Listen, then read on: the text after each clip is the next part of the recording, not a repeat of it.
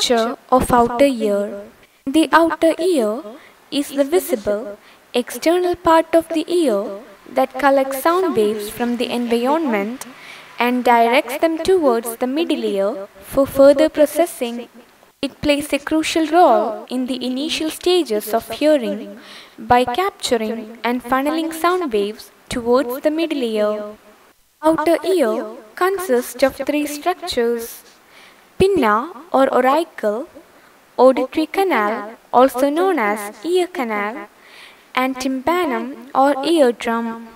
Pinna is also known as auricle. It is the visible, fleshy, and cartilaginous part of the ear located on the lateral side of the head. It has a unique shape that helps in capturing sound waves from different directions and funneling them into the auditory canal. Pinna has various folds, ridges, and curves, which aid in sound localization, helping us to identify the direction of sound source.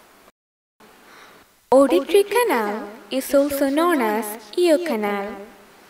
Auditory canal is a tube-like structure that extends from the outer part of the ear, the opening of pinna, to the eardrum. Auditory canal is approximately 2.5 to 3 centimeters long and about 0.7 centimeters in diameter.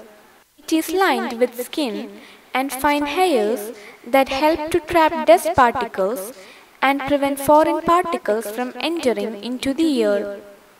Tympanum or eardrum. Tympanum is commonly known as eardrum. Tympanum is a thin, semi-transparent membrane located in the end of the outer ear. It separates outer ear from the middle ear. Tympanum is one of the essential structure of the hearing process. Tympanum vibrates in resonance with sound waves.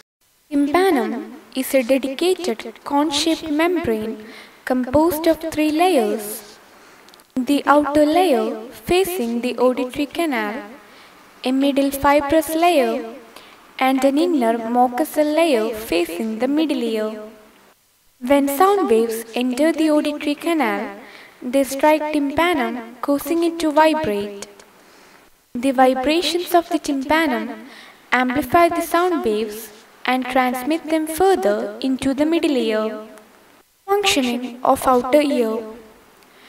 The primary function of the outer ear is to collect sound waves and direct them into the auditory canal towards tympanum or eardrum.